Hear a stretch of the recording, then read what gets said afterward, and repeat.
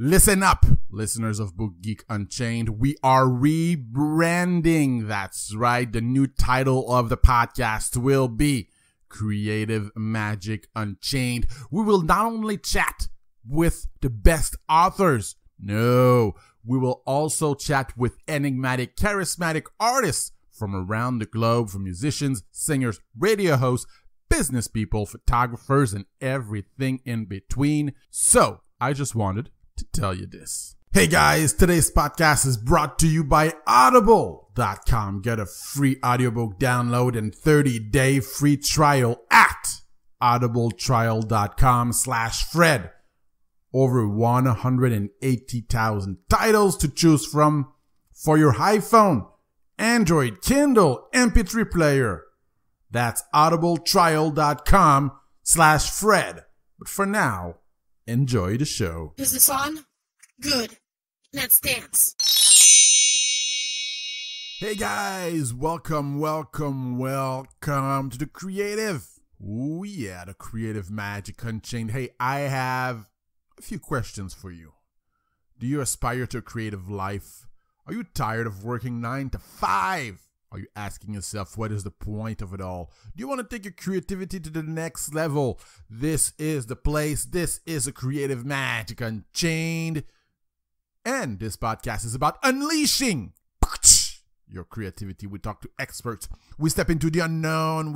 It's, an inspirational podcast. It's a magical podcast. It is an intuitive podcast as we chat with enigmatic, charismatic artists from around the globe. Musicians, singers, radio hosts, business people, photographers, everything in between.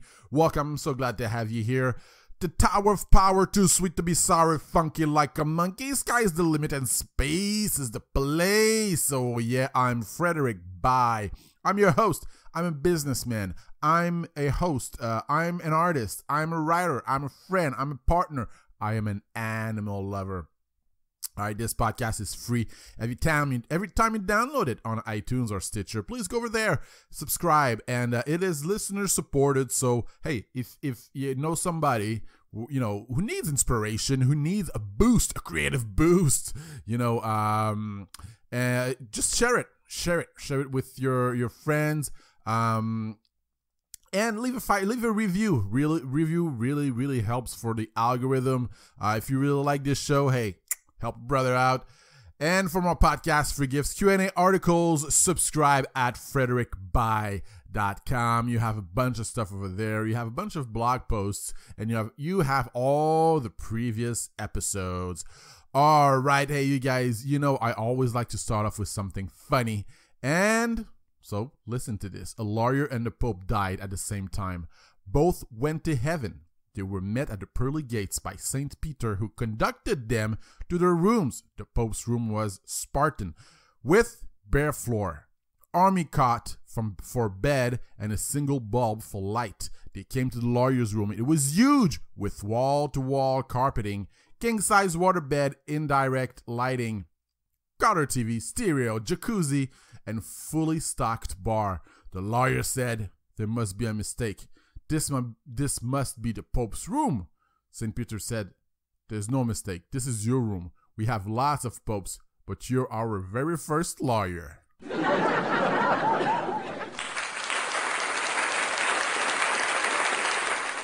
all right, all right, all right, all right. all right, let's start this off. Um, hey, today, oh, I love this interview today. Uh, we're gonna talk to Terrance Schemansky. He's uh let me tell you who he is. In the spring of 1996, he started a record company called 3000 Records. The label started out mostly as a concept used for the organization of a local compilation album in Kalamazoo, Michigan. I hope I pronounced it right. You know, I'm Canadian. I'm a French Canadian. I'm just a French Canadian guy. So sorry for my accent. After that first local project, another album was organized nationally. Uh, by the year 2000, through the use of the internet, the company started to slowly grow worldwide.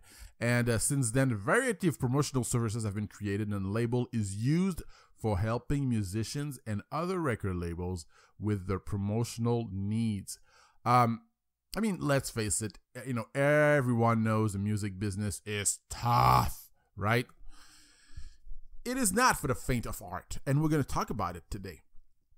However, the, appro- the approach taken by 3000 Record has been, I'll repeat that. The approach taken by 3000 Records has been to build relationships one person at a time, whether it's connecting with people in the music industry, you know, like radio DJs, uh, producers, etc., or connecting with other musicians. We realize the they realize the importance of networking, um, you know, and with each connection, they have been able to continue to grow while helping musicians reach the ears of the music industry and music fans in an indus- in an industry where there is a ton of noise and static. They cut through and reach people one on one. Hey, you know, I love doing this podcast. This podcast, I mean, I do it so I can reach, you know, I can reach out to people like this guy, you know, like Terrance. So I can I get to speak to these guys, I get to share these interviews with you guys and today, oh, we dive into a bunch of deep subjects. We, obviously, we're going to talk about the music industry, but you know, the music industry is just a reflection of most industries. You know, I mean, if you're in the arts, if you're a painter, if you're a writer, if you're, I mean, you know, it's all a kind of the same. I mean, there are differences, but they're very similar. And today we dive into the fears of lack of money, fears of rejection, fears of failure, fear, fear, fear. You know, it's a fear driven world. And uh, he's going to talk about, and by his story, I can tell you this by his, you know, listening to his story, you will be inspired to move forward because I was inspired to move forward after this interview. Uh, Terrance is a great guy, an awesome guy, and I'm very glad to have him on this show. Um, and you know you should really check out his podcast. Um, he's really a, a, good he's, he's man he's got a lot of experience and i love to talk to people like this. So without further ado we're gonna get to the conversation right after this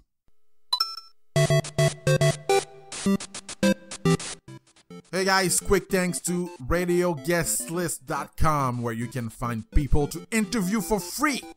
For free. Or if you want to be interviewed, you can go there too. Radioguestlist.com. Thank you guys for your support. And speaking of you listeners, I want to hear from you. I want to hear from you. If you would like to be on this show to discuss a book you have written or that you loved, if you have a book recommendation or you just want to chat, email me. I want to hear from you at info at fredericbaye.com. That's info at fredericbaye.com. And for advertisement offers, use the same address with subject advertising.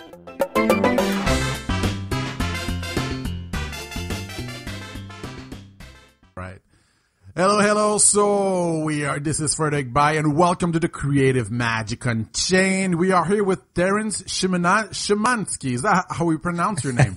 it's actually uh, Terrance Schemansky. Schemansky. All right, all right. He's the owner of 3000 Records, which is an organization that operates as an independent record label and provides music promotion services to other independent record labels, musicians, and bands. And he's also the host of the Music Business Connection podcast. How are you today? I'm doing well. How are you, Frederick? I am fabulous. I am fabulous. Good to talk to you. I think we're going to have a good conversation. That's good. That's going to be fun. I, I, can feel it in your voice. That's going to be cool. All right. So, uh, hey man, you're doing, you're doing the business thing. You're the, the music thing. You're, you're, you're in this. You're doing the podcasting. Uh, you're busy. You're a busy man. Um, and you started back in 96. So give us an idea of your, of your background here before we dive into your, your current endeavors. Well, you know, in doing something that you like, whether it's in the music business or something else, if there is a passion there by by doing that, for me, I've learned that I can keep pushing through and keep working even when things are tough. So when I started out with 3000 records in 1996, I started locally in Kalamazoo, Michigan by just putting together a local compilation CD. And today that sounds like, whoa, a local compilation CD. I haven't heard that being done in so long. Back then it was a big deal. And I was so excited to be putting that together with local bands. And I am a musician as well. So as someone in a band at the time, I was in college. I was a lead singer of a rock band in Kalamazoo, Michigan.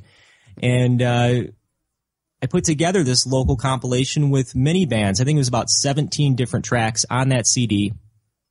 Turned out really good. And, uh, it was a fun, fun album that came out and just was able to be given away for promotional purposes and sold too. I think some of the bands sold copies. Uh, we allowed them to sell them and, uh, it, it was something that the bands were excited about. It was great for the community. And then from there, I thought, why not take it bigger? Why not advertise and get bands from other states to sign up? So I started advertising in uh, local papers and I had a toll free number and I was having people call a voicemail and I would mail them an information packet and I'd have to go to the post office, print more materials, hoping maybe they'll sign up and mail a check to me because they had to pay to be on the CD. It was a co-op project, so everybody paid to be part of it. And there's a little profit margin there. So it was nice to have that kind of part-time job, I guess you could call it that, in college. And, you know, after doing all that, at, at the time, as you know, the internet was gaining popularity. And by the year 2000, uh, after I graduated college, I realized how much could be accomplished by just getting people to sign up online and request that same printed information packet in digital form. So when they gave me their name and email, an autoresponder would send them the information packet. Mm-hmm. And to me, that at the time was revolutionary. I mean, compared to the work that it took the other way and the m- amount of people I could connect with. So it was great to get going that way because the byproduct of that, and a lot of times in business, there's a byproduct. You don't know that what you're doing now could be something bigger later. The byproduct was so much bigger and it was that I was collecting the names and email addresses of artists and bands from all over the world. It built a powerful email list that I use to this day, now over 13,000 plus musicians and bands around the world. And I have many projects that I have put together online. And the purpose of these projects is to promote music. So being able to promote artists worldwide, it's solving a problem. It's solving a pain point for a lot of musicians and artists that want to get their music out there, but they don't know what to do. They've recorded the music. You know, they wrote the music, they got in the studio, they paid the money to get it recorded or bought the equipment to do it themselves. They finally get that album done and then they realize that it's not just about putting it on Facebook and being done with it or just putting it on CD baby and being done with it. You have to promote it if you want people to hear it. So um, I'm constantly coming up with new ideas and new ways to promote artists, and that's where I'm at today. Along with starting most recently the Music Business Connection podcast, which is my way of giving something back to the artists and bands for free to allow them to listen three days a week, Monday, Wednesdays, and Fridays, and connect with somebody new in the music business. Man, you're in the music business. Geez, what's up with the music business? It seems like everything's just changed. I don't know. It seems like I interviewed, uh, I know I interviewed people in music and it seems like, I mean, what's up with that business? Wh- What do you, where do you think it's going? Because man, there are so many people love music. I mean, music is universal. You don't even know, you don't even need to understand the lyrics. You know, you just listen to melody and it's universal, right? So I mean, where do you think music is going? I mean, or music business to make a living as as a a musician, you know? Because because because I just want to say before and and this is just me looking from outside in, okay? So I'm not in the music business, but before it seems to me that it was more like that you had this label, this big music label, and you kind of you know worked your way up there. Now it's like it's shenanigans. It's like everybody can put out a musical album, and it's. I mean, where do you think the music industry is going? The music industry right now is in a changing or a chaos, you can call it that. But out of that chaos can come some beauty. So right now, a lot of people that were making money one way have to work a lot harder to make money the same way. And there's other people making more money than they ever did a different way. So to give you some concrete examples, somebody told me recently on the podcast um, that I do that that they know that a lot of music producers, especially in the Nashville area, are working like three times as hard to make the equal amount of money they were making just a few years back. Wow. You know, so there's an example of doing things where you have this hopefully secure job as a music producer and even somebody well known, you know, and you're producing people, but now you got to work harder. Not, not, it's not getting easier. It's getting harder. You hope things get easier as you get older in your career, but, um, things change. Um, on the other side of things, there are people that have used, of course, we know stories of people who have gotten famous off of YouTube and people that have gotten famous off of MySpace back when that was more popular and, and we now know that with Spotify, there's people even getting known off of that. There's different opportunities constantly evolving. So it is important to be on top of things and to recognize what's going to be the next big thing. I'll give you another example. I registered uh, with Twitter back in 2008 because of a podcast that I heard. Most people hadn't heard of Twitter at the time. Um, and I was listening to a podcast. I believe that podcast was about music marketing. And the host said, there's this new site called Twitter and it's really great. And you really, really have to check it out. And as much as he tried to explain it on the podcast, I, it went in one ear and out the other. I said, I don't understand what this Twitter thing is. I have no idea. What is the point of this thing? But I hear the passion in his voice and I know it sounds like this is going to be big. So I went on the computer and I started registering many accounts. I thought, well, I want to make sure I have the right account. So I started getting different usernames and one of them is music business. My Twitter handle today is at music business. Um, the, the benefit to that, of course, is that, I mean, now you'd have to have something so generic. It's, they're all taken. Just like the domain names, many popular domain names back in the, in the nineties got grabbed up. If somebody could go back to the nineties and recognize that opportunity alone and say, I'm going to go, you know, register a hundred really popular domain names. I'm going to register I don't know, even stuff that isn't that big of words, like cars.com. Okay, maybe that was hard to get in the, in the mid nineties, but how about like pooltables.com? How about musicindustry.com? How about, um, furniturerepair.com? Those domains are valuable, valuable domains today. Um, somebody that registered 100 domains of about that equivalent of quality would probably be a millionaire today. And th- those domains back then were just, you just go on with your credit card and register them. But you'd have to recognize that opportunity back then. That opportunity's past. It's long gone. I can't say what's the next big opportunity right now.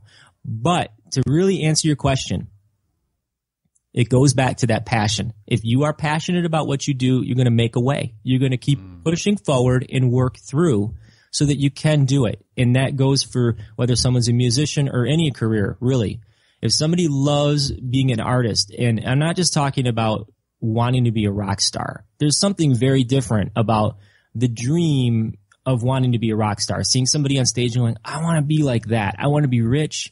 I want to be famous. I want to be better looking. I want to dress better. I want, you know, whatever. You know, that's, that's having something. That's give me, I, it's about me. I want, look at me. I'm, I'm important. Okay.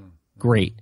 Mm-hmm, mm-hmm. Really? If you went around like that every day, imagine going to the mall and acting that way. I'm so important. I'm so important. no, who would be friends with somebody like that? You've got to work hard. The the people that I've met and the people that I've talked to, especially on this podcast, even uh, the the person I recently interviewed, Bobby Kimball, the uh, the original lead singer of Toto. you know the song Africa and Rosanna that won like tons of Grammy awards back in the early '80s uh, in a song called "Hold the Line" that was a top ten hit back in the late '70s. He's the guy. You know, he he's he's in the band Toto, and uh, he was in that band. And and when talking with him, he's so humble and he just works hard. Even today, even today, he just works hard. And I realize that the people that are having full, long careers in this business, they work hard. They're passionate. They care about other people, and they are willing to um, keep pushing forward even through difficulty. Let me let me ask you this, and this is what I, I discovered in my, in my life, career, business. You know, you talk about passion, and it's interesting that you said that. Okay, I want to be rich, famous, da da da. But yeah, yeah, yeah, yeah. But you know, who wants friends like you know with a person like that? At the same time, isn't it like everything that we do? Isn't it not about us? You know what I mean? Like, I think if you think, okay, I want to make, I want to make music. I, I, I have to think it's not about me. It's about the audience, about the public. It's about other people. You know what I mean? I don't do, I, I mean, I love what I do and it fulfills me, but it's, it's, in the end, it's not about me. Do you understand what I'm saying or? I do. And it's very important for, for people to know that. I mean, you're, you're right on because for somebody to make it all about them, they're going to be posting and tweeting things like, check out my music, check out my new video, check out my this, check out that. I, I just wrote a new song. You know, that's me. I look at me and those are the posts that get ignored. You see the popular Twitter accounts yeah. and the popular social media are a very clear way to understand that if you make it all about you, you're not going to have many followers. People want things that they can um, consume that they can take in and learn from. Your podcast is an example. Why would somebody listen to this? Are they listening because they like you so much, Frederick, or they like me so much? well, hopefully they yeah. do, you know, like, like us, or, you know, they at least, you know, enjoy our voices and they, they go, well, that guy's talented. He's, he's doing a podcast or he's really using his skills in, in being a communicator. Okay. But the reason they're listening is for, for them to absorb some good information. They want to go, oh, I, I want to learn about how I can understand more about XYZ topic. That's why I'm listening to this radio show. Or I want to listen to this song because I feel good when I listen to it. I really enjoy it. Um, or I really feel a certain way. I'm, I'm, I'm feeling sad and I want to listen to a sad song right now because I can connect with that. So it, you know, it comes down to really those things, people being able to connect with other people and make it about somebody else. And that's where it gets confusing because if somebody's not used to doing that, they're like, well, how do I do that? Now what? I've always been just making things about me and that's it. So people, they get confused when they think, okay, well, now that I understand this can't be all about me, mm-hmm. now what do I do? I, I don't understand. I'm so used to just, just writing songs that I feel like writing when I want to write them about whatever I feel like and, and not follow any format, not learn anything new, play the same three chords. It's just what I do, you know. Ah, you, you, once you reach out and you recognize when somebody understands that they can expand so much, that they can start to understand that they can meet needs of other people if you really, really want to get fans, you got to meet the needs of those fans in some way. And pick a niche. Pick something you're gonna you're gonna kind of focus on. You want to focus on folk music, then you know picture those people that you want to write folk music for. You you want fans of of folk singers. Find uh, other folk singers you can emulate, admire, and look up to, and find the best. And this is what Bobby Kimball even said on on episode 55 this past week of the Music Business Connection was he said to copy other people's best qualities and I, I, he didn't mean it in a way of copycat. He mm-hmm. said, mm-hmm. find the best thing they do. If you want to be the best singer, then find like, for example, 10 singers you really admire, listen to them over and over and find that one best thing they do and try to do it over and over and over till you can do it. And now you have the qualities of 10 of your favorite singers that you can put into your music. That's something you can really offer. That's something to offer other people by being able to do that. So there's a skill someone can acquire. And then of course, in using that skill, when you record, write good music that appeals to other people, not in a way where you're just writing songs in a way where you're not passionate about it and you don't care, you know, just to make money. I'm not talking about that. I'm talking about understanding what the crowd that you are writing to who they are, understanding who they are. Just just realize who they are so that you, that somebody can actually connect with you. And that's where it comes out. That's where it comes down to being able to do things for other people, whether you're educating them, whether you're connecting with them emotionally, entertaining them, whatever it is. Let me ask you this, uh, because I hear you talk. Uh, you I hear these these principles. These are the same principles that entrepreneurs use. It's never, but you know, it's you know your audience, target your audience, um, to be a musician today, do you have to absolutely be an entrepreneur?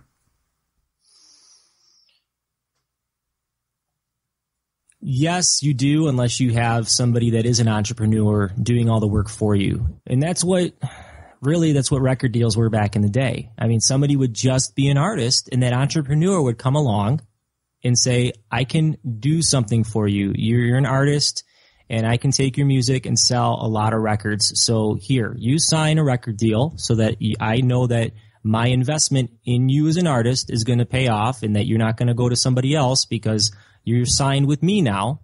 And that entrepreneur would then work really hard to get that artist out there from the promotion and marketing to the sales and the distribution and all that stuff to recording it in the studio, making sure they have the best producer. Those things were done for an artist. And that, that is something that does not happen today as often. So most musicians are in a position to be all those things. And how do you think overall musicians are are doing? Because man, artists sometimes as artists we we don't think as entrepreneurs or business people. Like many artists, their brain just doesn't work that way. You know what I mean? Yes, and that that comes down to a whole topic that man, we could do a whole podcast about that. I mean, if somebody really isn't a business person, then and they're really not going to be, it's just not something that they do. Then they need to find some people that can do that. They need to find a team of people that they're going to be able to have help them. You know, if there's something that somebody's not good at, then hire them to do it. Don't try to do it yourself. It's like, I don't want to waste my time changing the oil on my car, even though I know how. But why would I want to go in the wintertime under my car and spend, you know, an hour getting all dirty and oily and then having to take a shower after and it takes two hours now because I'm trying to get oil off of my hands and everything. Uh, why would I do that when I can go for like 25 bucks and get an oil change done and they'll check the tire pressure and they'll check the fluids and they'll, you know, check the, whatever. You know, they do all, that's their job. That's what they do because that's what they specialize in. It's good to find people who specialize in something. There's a huge value there. And if an artist is very good at doing what they do, they just are a singer, then just be a singer. Don't be a singer and a bass player and everything else. Don't be, if you're really just good at drums and stop, you know, don't try to do, don't try to become a lead guitar player if it's just not something you're meant to do. And the same thing goes for if you're not really going to become an entrepreneur and a musician at the same time, then really don't try to do that if it's not your, your niche. Um, and that's where it's tough. That's that's right there where things are difficult for artists because who can be everything? Who can do everything? It's very hard. Um, but but you can learn. You can take that journey of growth. Maybe an artist can learn how to make a website and they really like managing their website and that leads to another thing and that leads to another thing. And a lot of musicians today, can become entrepreneurs because of everything they're learning as musicians. There's a lot of musicians out there, like I said, learning how to make a website and then they learn how to, you know, use an autoresponder and the next thing you know, they learn how to make a marketing page and then they know how to do advertising and the next thing you know, they go, well, you know, maybe I'll write a book. You know, they do something else. But when it comes down to being a musician, I think that there, there's not an easy answer to that question. There's just not because the business models out there today are not as easy for an artist to just go, all I'm going to do is play music and wait for a record deal. And it wasn't always, you know, it's not like it was easy back in the day either. There's only so many record deals to go around. But the positive thing is that an artist can use their talents and abilities beyond just music and reach out to many, many people. Now, are they going to make a ton of money? I don't know. I mean, if somebody works really hard and gets their music out there, it depends on the music. It depends on who they are and how they perform and how they, you know, how many fans they get. But one thing that I can say is that if they're willing to be passionate and continue working hard, regardless of the money, regardless of maybe they're not that good of a web developer. Okay, so you don't have the best website. Find somebody that can help you improve the website. You know, that's the concept, but it's small steps. I think part of the difficulty with even answering this question is it's not just one big step. The big step in the past and the dream is just give me the record deal and that's it. I'm set. Step one, record deal, done. No. No. No, it's it's a it's a journey. So start that journey and continue that journey. All right, just before continuing this conversation, for you, the listeners of the Book Geek Unchained podcast, Audible is offering a free audiobook download with a free 30 day trial to give you the opportunity to check out their service.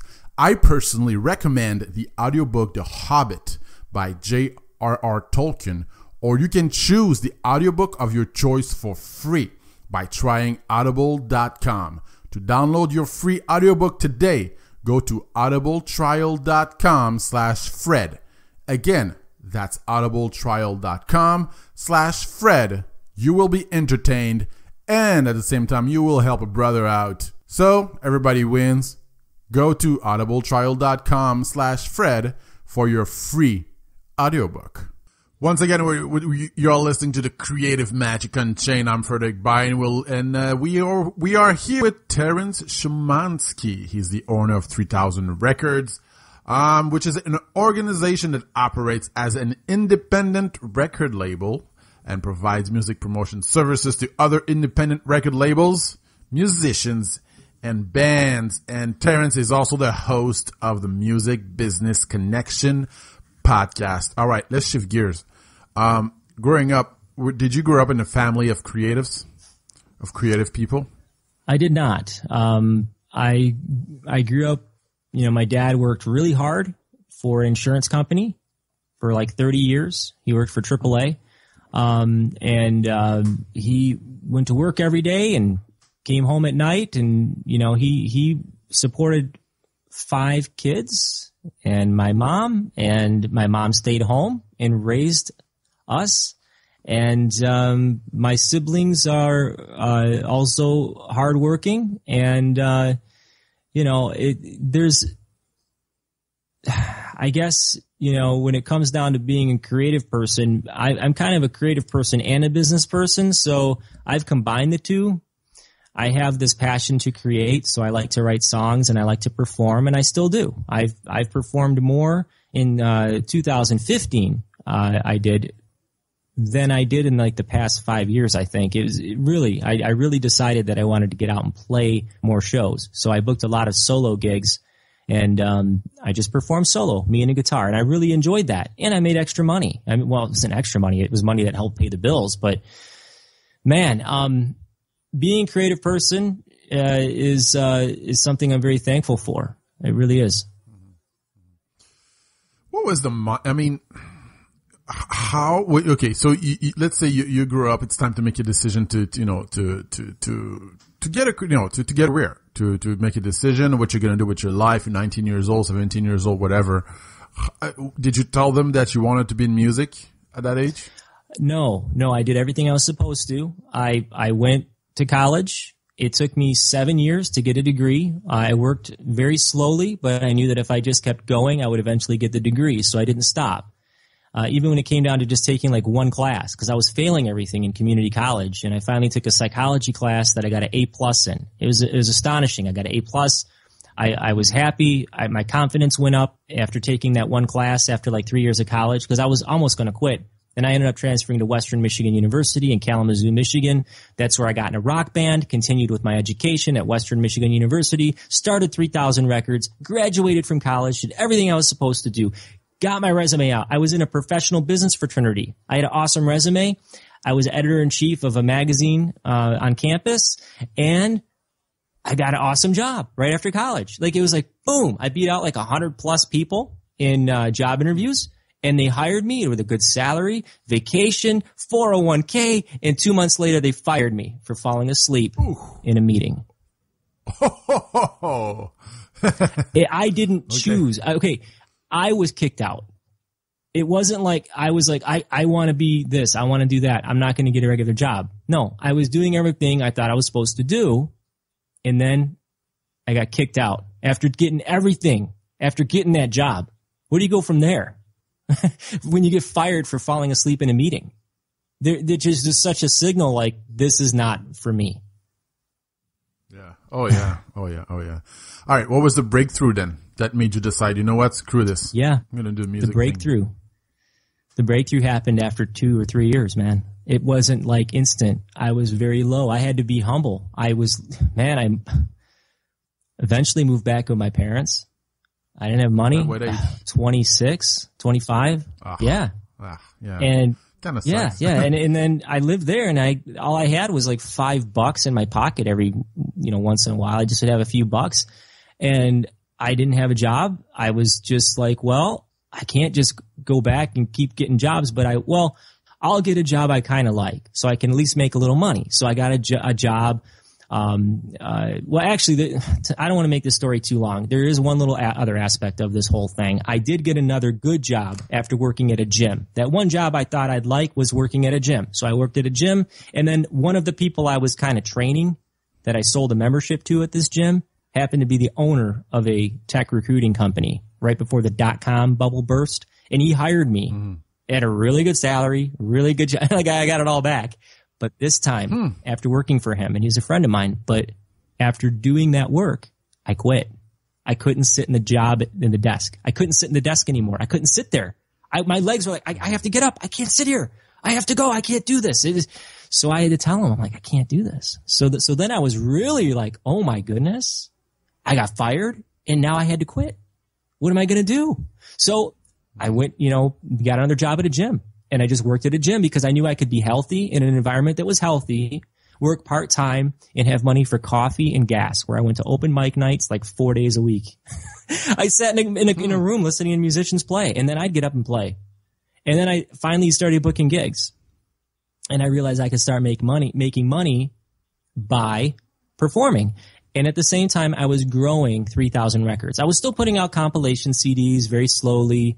Uh, I had a really awesome project called the New Union of Dance and Electronic Artists back in 2002 that came out with the top, some of the top MP3.com artists that did electronic music back then, like ambient music. Um, and you know, over time, I kept growing the business very slowly, but that breakthrough, the breakthrough that you mentioned happened over time. And that's when I mm-hmm. started making more money online, running a business, doing what I was doing very humbly, just going to open mics and listening to people. And it wasn't overnight. It wasn't like, oh, all of a sudden now I just had this breakthrough and now I'm making money and I don't have to have a job. No, it was, I was Oh, yeah, always yeah. working. I was always just taking little steps. It was little steps, learning how to make a website, but then learning how to make a form on a website, then learning how to do this and learning how to do that and improving and improving and coming up with new projects. Um, in 2004, CD Register was huge for me. Uh, it's now called Album Register, but artists are getting connected with radio DJs all over the world through Album Register today. And that's been around since 2004, originally known, like I said, as CD Register. And man, I'm getting so excited I, I'm talking about it because I just remember the first time somebody signed up for that website, the site wasn't even done. I had it online and I had it connected to like a PayPal buy button. And I'm like, why is there 20 bucks in my PayPal account? Oh my goodness.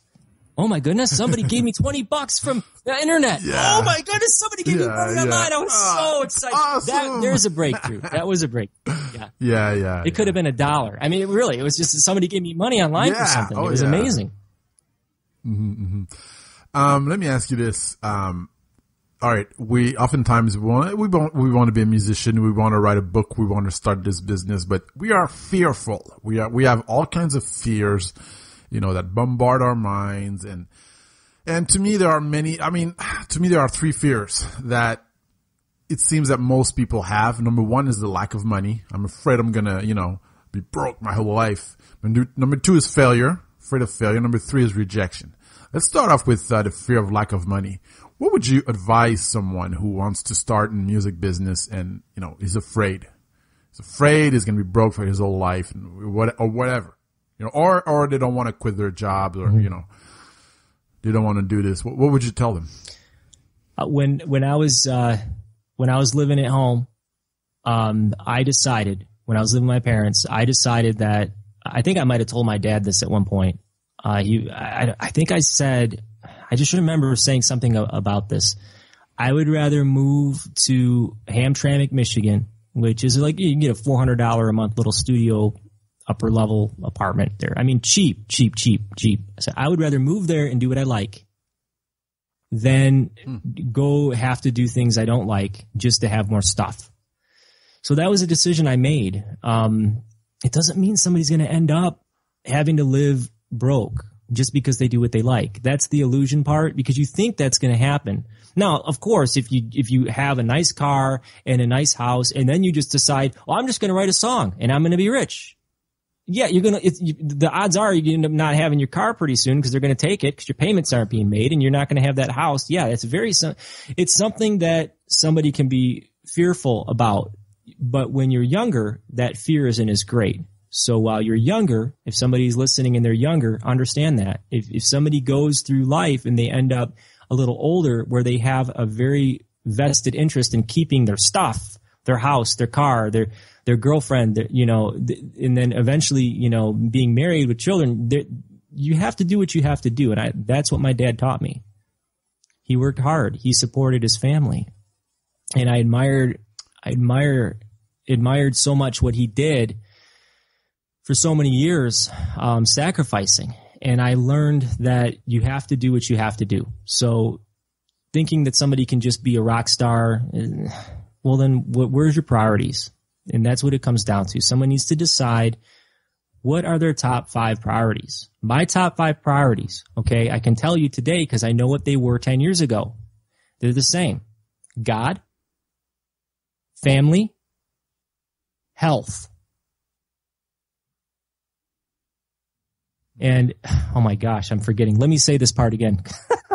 I haven't said them in so long. I'm wondering which order the last two are. God, family, health, um, and then uh, career and money. Okay, let me do that. My t- my top five priorities are the same as they were ten years ago. So here they are: God, family, health, career, and then money. And my career is music. Okay, but notice families before that. So if I have to go make money for family, that sets aside priority number five and four. And three, health. Meaning, meaning getting yeah, a job. Exactly. So it's not like the priorities are out of whack. Those are, uh, there's a very good reason I have them in that order. Uh, the fear you asked about. Okay. There's fear, but then there's what you do about the fear. Okay. You're afraid. So what does somebody do when they're fearful? They get anxious. What, what do they do when they get anxious? They twiddle their thumbs. They bite their nails. They do drugs. They make stupid decisions, decisions whatever. uh, gosh, you know, get away from that stuff, man. If you're, if you're afraid, then you're afraid. If you're afraid and doing things that are not good for you, then you're doing things that are not good for you. And that's not going to result in anything good. so mm-hmm. it's okay to be afraid. What about failure? It's okay to fail because as long as you get back up, as long as you're willing, okay, if you fail and you, you lay there for a while, that's fine. That's what I did. I failed and I laid there for a while. Like, like when I got fired from that corporate job, man, I, I just kind of stayed down. It was like getting knocked out in a boxing ring. It's like, boom, stay down. There's no reason to get back up right now. I stayed down. I said, well, I'll think for a while. And I used to get out a notepad, piece of paper and write down my thoughts and ideas. And, I just laid low, you know, until I was ready to get back up.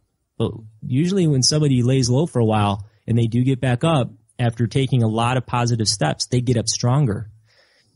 Mm. Mm-hmm. Mm-hmm. What about rejection? You know, it sucks to be rejected, it, it, it, especially, and some people, some people can take it. Some people are so afraid of it, it paralyzes yes. them and and indifference is even worse oftentimes than a no.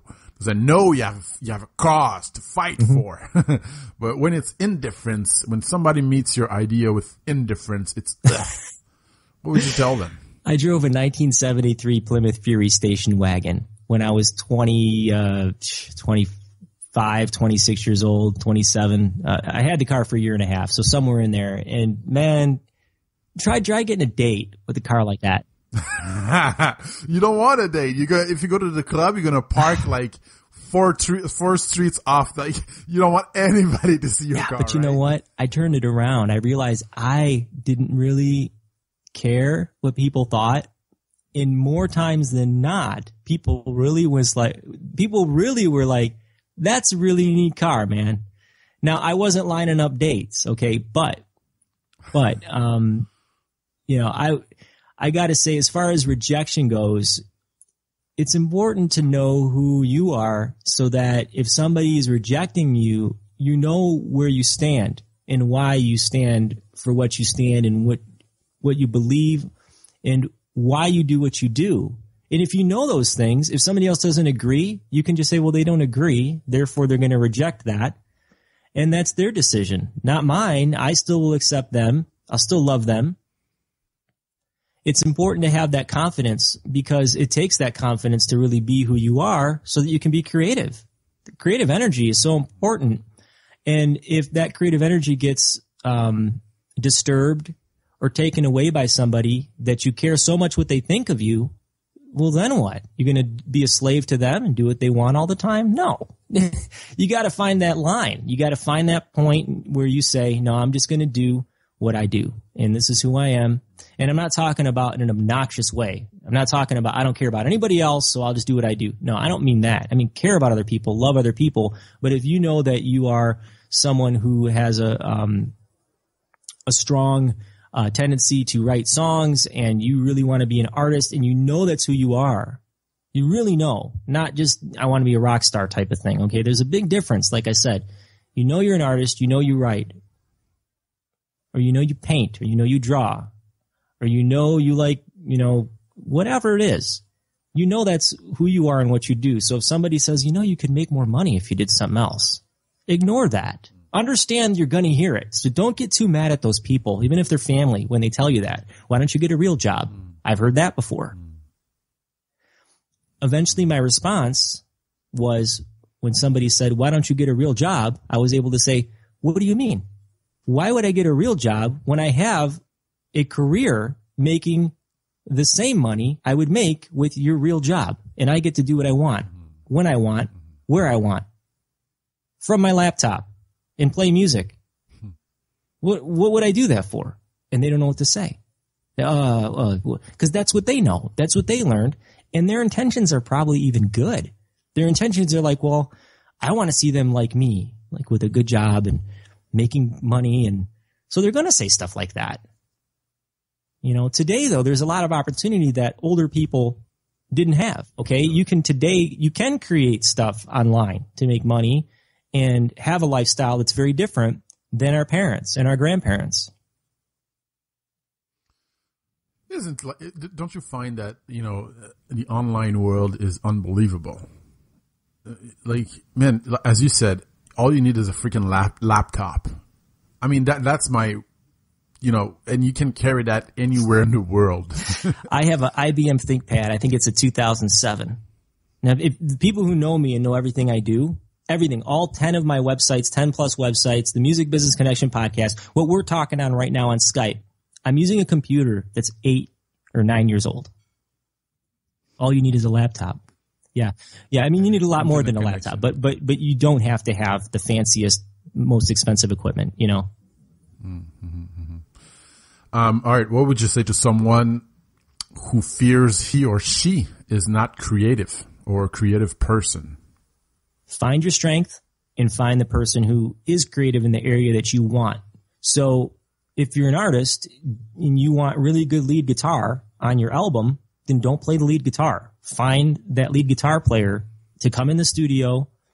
Or now they have all these sites online. You can even hire musicians online to play on your album and they send you the WAV file. You know, find that person and surround yourself with people that are creative in areas that you are not. But most people are creative in one thing or another. Some people are creative in many things. Some people really only have that focus on really what they're creative with. Maybe somebody's really, really good at being like a manager type person. They're very good at focusing and they're very good at keeping things organized with them. Maybe they should go into being a music manager. Or maybe they need to get into a band and maybe they're they're they're pretty good at playing rhythm guitar and they can be in the band and they're good at doing background vocals, for example, but they're also the guy that does all that legwork for the band.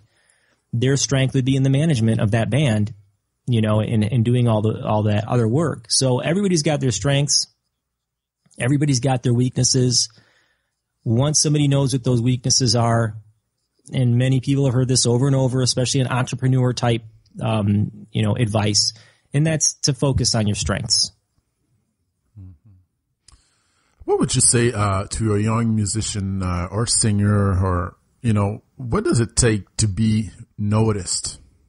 Being different, but not obnoxious. Uh, there's too much of that out there today. You got now the music industry is filled with obnoxious pop stars, and some of them are freaking talented and really good, and I still like them. But I'm sorry, the things they do, the things they say, the way they get their attention is stupid. I'm sick of mm, it. yeah. I like artists that make great music, are honest, good people, not doing stupid things, not just trying to get attention and being bad examples for other people out there. I like artists that are out there that have a statement, they say something positive, they sing about good things, they treat people right, they're using their talents and abilities in a way that sets a great example. Those are true artists to me. Those are artists that are out there that, that should be known. And unfortunately, we, we live in a society where that's not what always gets popular. So you have to decide where you're going to be. You know, somebody going to be climbing and clawing to get up there? Well, what? Okay. So let's say you do. Let's say somebody claws their way up obnoxiously. They have the ability. Okay. They have the looks. They're, they're, they- they're at the right age. They have the right, you know, connections and they get the right song out there and now they're popular and then they start becoming an obnoxious person in the tabloids and all that stuff. And, and the next thing you know, okay, are you going to live your whole life like that? Is that what you want? Really? Do you really want that? Look at what you're going to look back at when you're older. Or would you rather have a great career? Look at some people that have had awesome, awesome careers. Um, let me give a positive example, okay? And these are older artists, but let's take a look at some great artists just really quick. Look at the lives of musicians you really admire. Okay, and I, I guess like I don't know too much about the lives of of every artist and musician out there, but there's some great ones out there, like Michael W. Smith. Look at him. Look at the life he lives. Look at his family. And I don't know much about him completely, but I'm saying just from what I do know about him. Look at the life of his family. Look at the, the, the career he had. He had a top 40 hit. I believe it was top 40. You know, and then look at, look at, um, uh, you know, just all different scenarios out there. What kind of life do you want to live as a musician or not? Like, where do you want to be? Do you want to be able to have time to yourself? Do you want to have a family or do you just always want to be in the limelight? Do you always want to be having to keep up with everybody else as your looks are fading, especially for women, as their looks are fading and they're heading into their older years and they're desperately trying to keep up with, you know, their looks. They're, they're still putting themselves out there looking all, you know, this and that and they're old. It's like, oh my goodness. Seriously? How about having a a look that's more dignified when you get older so that it's respectable and a good example to other women? Not a bad example. So it's important for men and women to recognize that and to understand that they are setting an example every day with what they do. What kind of legacy do they want to leave for other people to, to, to see them in what light? All right, we're gonna wrap this up. If you were stuck on an island uh, by yourself, five hundred bucks in your pocket, a laptop, and internet connection, what would you do the next seven days? I ever think I would get a question like that. Um, mm. All right. Instead of just being funny and trying to come up with a funny answer, I'll try to give you a serious one. Um, you know, I'd probably, man, honestly, the first thing that's coming to mind now that I'm kind of letting my mind drift a little bit on this topic, dude, I would enjoy the island for a little bit. If it was, you know, at first I would kick back. I'd be like, I'm going to go in the water. I'm going to crack open a coconut. You know, I'm going to lay back in the sun. I'm going to take a break here and relax and think about what is it that I want to do. I'm going to lay low. I'm going to lay low for a little bit and I'm going to, I'm going to figure out my situation. What can I do with this laptop right now? What can I do to, um, to start with where I want to start at, whatever it is I want to do, uh, whatever, whatever you know, if it's the music business again and I was starting over and I just had this, this 500 bucks on some island, you know, I, I would take it easy and lay low until I figured it out because you can't always figure it out right away. It's not like, oh, I'm just going to do this, this, and this. Of course, there's always the answer of, well, I would, I would get the best social media accounts and get all the right usernames. Of course, line up your, your, your brand. That's something I would eventually do with once I did figure it out. I would have a consistent brand. You know, for, for me, it's 3000 records. That's the brand I stuck with. If I didn't stick with that brand, I wouldn't have anything consistent to go off of on the other 10 websites that I have of, of who created those websites. Who's it by? Brought to you by 3000 Records. Um, so reputation's important. If you're in this business for a long time, then people can know that you're reputable because people in the music business that are not reputable aren't there anymore after a short time. Um, so yeah, that would be my answer. I would enjoy the island and lay low until I figured out what I wanted to do and then do all those right things to get out there. All right. Where can you find you and buy your music? Well, you can find me at 3000records.com. My email address is go, the word go, G-O at 3000records.com. You can also listen to the Music Business Connection podcast by going to musicbusinesspodcast.com. And it's also on iTunes. It's called Music Business Connection once again. I'd love, love to be able to have you check it out and enjoy it. And I'm speaking to the listeners and you, Frederick, um, and, uh, and just, you know, delve into it, man. I've, I've learned a lot doing this podcast. It's been a blast. Oh, awesome. Awesome. Thank you. I learned a lot too, man. I learned a lot too. It's always fun to start to, to talk to people who, you know, uh, man, you're immersed in this, you know, you're in the field, you're doing it. That's always inspiring. And I love that. Thank you so much, Frederick. It has been total pleasure being able to be on your show and your questions have been fantastic. Thanks again. Awesome. All right. His name is Terrance Schemansky. He's the owner of 2000 Records. Go check that out. He's the host of the Music Business Connection podcast. All right, guys. Hey, how was that? How was that, man? Oh, thank you, Terrance. Thank you, Terrance, for your honesty, for your genuineness. Thank you for your authenticity. Thank you for, and you know what? Much success to you because you deserve it. It was I, I had a blast talking to you. It was fun. You're you seem to be like a very simple guy, and uh, I know my audience, uh, you know, enjoyed enjoyed this conversation.